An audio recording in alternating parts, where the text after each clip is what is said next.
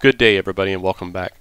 For those of us that use IUFC export with our iPads to to create the upfront controls for the jets we fly and the, the jets that are supported with the app, sometimes get frustrated with a little thing that happens every now and then. It's not a, a deficiency, it's just a condition that happens because of the way we're connecting to the internet and typically what happens the condition shows that our buttons are still working we can still click on the buttons on the iPad it makes the buttons move and the knobs move and everything on the uh, upfront controls in the jets.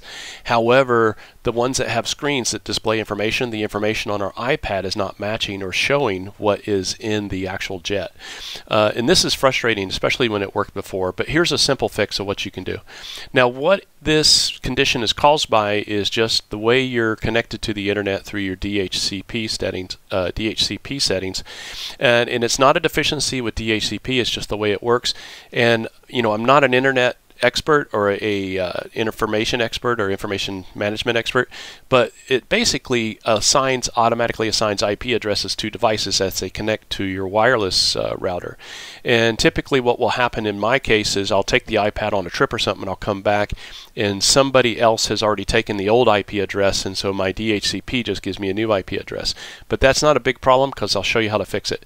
In the last year and a half that I've been using this program, I've had to fix this maybe three times. I know of two times, it might have been three, but it's not a big deal. It's easy to do, and I'll show you how to do that.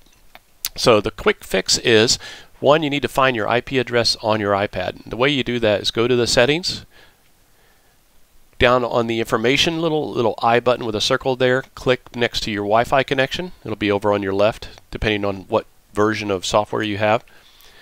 And then you'll note the IP address. You'll want to write that down so you have it. Next thing you'll have to do is you'll go over to your Save Games, DCS World Open Beta, Scripts folder.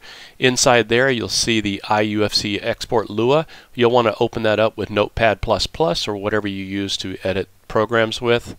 And in there, right after you get through the, all the introductory information uh, in, that's up there on the top, down, you can see on mine, I have line 26. It may be different for you, but you'll want to find the local network multicast IP address by the uh, where it says that. Not the one below it, but the one right there. The one below it will be a different IP. And typically, once you've had this working, what happens is, is your IP address up here on this line number 26 for me doesn't change except the last digits or two take changes. So sometimes like I've had dot six, I've had dot three, and then I've had dot four. So it has been about three times that I, have made it work. Uh, had to do this to make it work. So it's easy to do.